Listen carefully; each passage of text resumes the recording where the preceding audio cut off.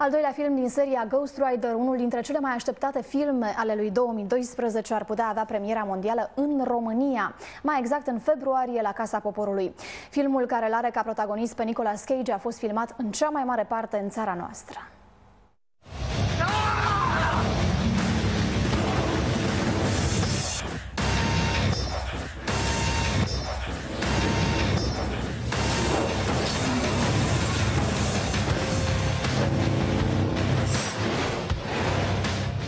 Ghost Rider, partea a doua, îl aduce pe Johnny Blaze, interpretat de Nicolas Cage în Europa de Est. În încercarea de a scăpa de blestemul puterilor sale demonice, eroul se va alătura unei secte pentru a-l învinge pe diavol, care încearcă să capete formă umană. O parte din filmări au avut loc și în România, mai exact pe șoseaua de centura Sibiului. Mine. You are in Romania. I love Sibiu too. Beautiful city. First time here?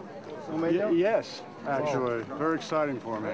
Probabil că tuturor celor care au lucrat la film le-a plăcut în România. Ghost Rider, Spirit of Vengeance ar putea avea premiera mondială pe 17 februarie în țara noastră la Casa Poporului. We are the directors of Ghost Rider, Spirit of Vengeance. We hope you have a hell of a time watching.